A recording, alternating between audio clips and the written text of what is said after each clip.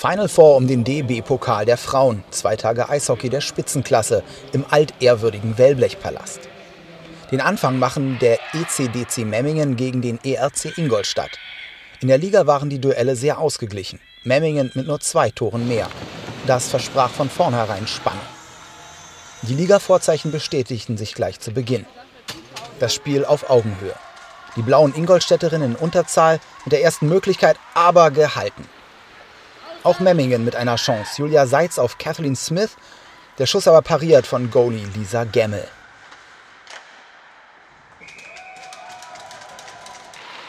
Doch dann kommt Memmingen besser in die Partie und er spielt sich mehr Chancen.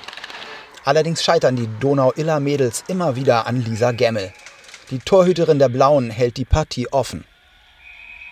Dann noch etwa sechs Minuten im ersten Drittel zu gehen. Ingolstadt mit Powerplay. Die Betonung liegt auf Power, denn nun rennen die ERC-Damen förmlich aufs Memminger Tor. Laura Barnes mit dem Fernschuss, der kommt irgendwie zu Karin Hoffmann und drin der Puck.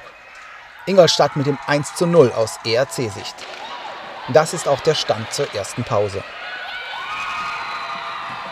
Im zweiten Durchgang dann zu Beginn der ERC am Drücker und klingelingeling, da ist das zweite Tor für die Ingolstädterinnen. Andrea Lanzel mit dem 2 zu 0. Jetzt ist es nicht mehr ganz so ausgeglichen. Aber die Memminger Damen setzen alles dran, das wieder zu ändern. Doch Ingolstadt hat die Mittel, das zu verhindern.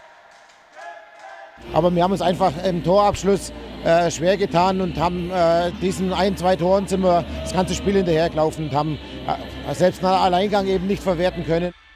Mit dem 2 zu 0 für Ingolstadt geht es auch ins letzte Drittel. Und das ist fix erzählt. Es wird hitziger.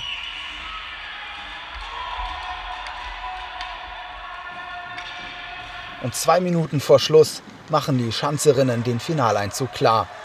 Andrea Lanzel buxiert den Puck zum 13-0 Endstand ins leere Tor. Super, es ist ein tolles Gefühl, mich freut für die Mannschaft. Haben wir noch nie erreicht, das ist die beste, Aus also wie gesagt, mir fehlen die Worte, es ist eine super Leistung. Ja, im ersten Drittel hat Memming gut mitgehalten, anschließend sich durch viele Strafen halt selber Probleme geschaffen und dann irgendwann ist man auch platt, wenn man viel Unterzahl spielt.